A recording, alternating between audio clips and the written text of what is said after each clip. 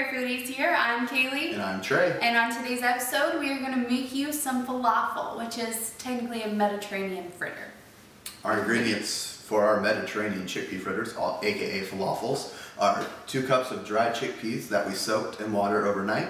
We now have them drained and ready to go for our falafels. We also have a cup of chopped parsley, a small onion, onion that has been chopped along with one clove of garlic.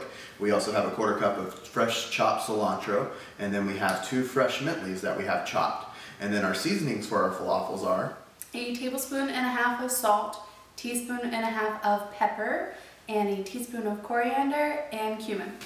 And we're gonna run those through the food processor, get a nice consistency, make those into some balls, and deep fry them. All now let's get to making some delicious falafels.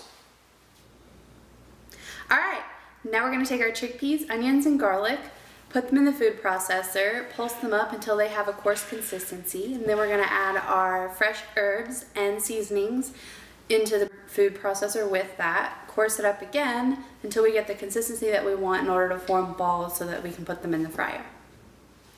All right, now that we just processed the chickpeas, the onions, and the garlic, we are now going to add the fresh herbs and the seasonings.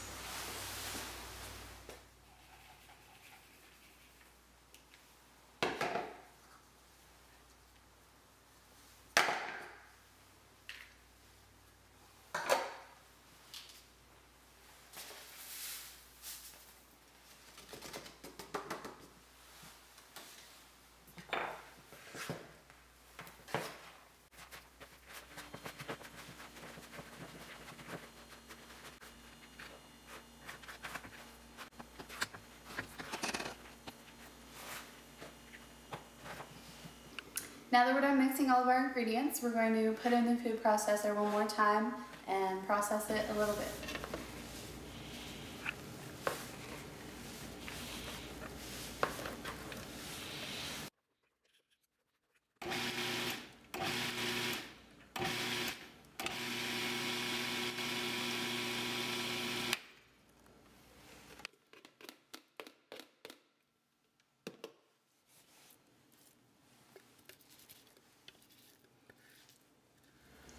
All right, so now we have our falafel mixture blended up and ready to go.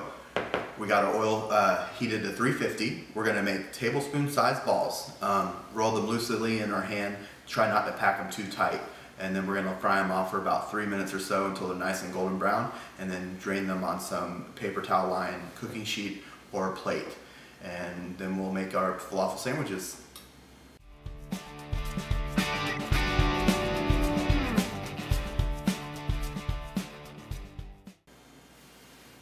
All right, now we're gonna fry those up for about three minutes and let you know how they look like when they come out.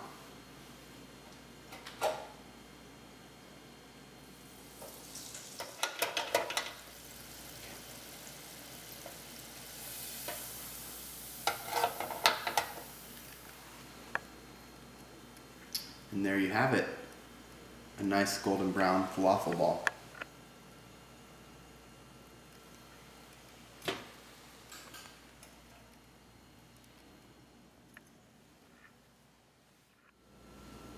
All right, now our falafels are ready. They went ahead and cooled down. Um, we went ahead and made some pitas with the falafels. You, you can also just eat them by themselves. Uh, we got some thinly sliced Roma tomatoes, cucumbers, and onion on some pita bread. We got some tzatziki sauce that we made last night. And um, I mean, as you can see, they look they, amazing. They beg to be eaten. So can I eat one now? You can eat one now. All right. This will be the true test. She's never had falafel before. You guys, I'm excited. They smell so good. How's that? It's good stuff. Mm-hmm. It's Kaile approved and mm-hmm. Kaile tested. Thumbs up for me. So very very simple recipe. It takes a little bit of uh, prep time, but we definitely hope that you give this recipe a try. And as always, thank you for watching. And bon appetit. All right, let's eat.